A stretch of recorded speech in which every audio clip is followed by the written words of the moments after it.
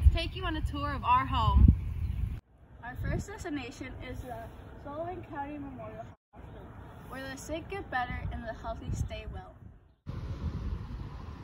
Welcome to the heart of Milan, where to my right we have La Taqueria Mi Tierra, and then to my left we have one of the many things that we have here in Milan, and then we can take it to Liz. Thank you, Ashley. This is our Sullivan County Courthouse. Not only do you get rid of your tickets here, but this is where law enforcement is stationed at.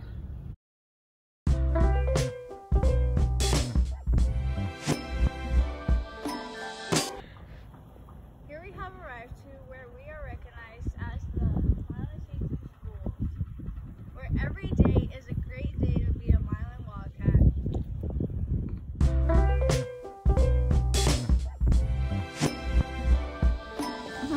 Now we've arrived at Richardson Supermarket, our home-based grocery store, where you can get your supplies quick and easy. Here we have our final destination, Smithfield, the source of our small town's population. The size of our small population does not matter because whenever our school And diverse community come together, we make a difference. we might not have much, but what can we say? Less is more.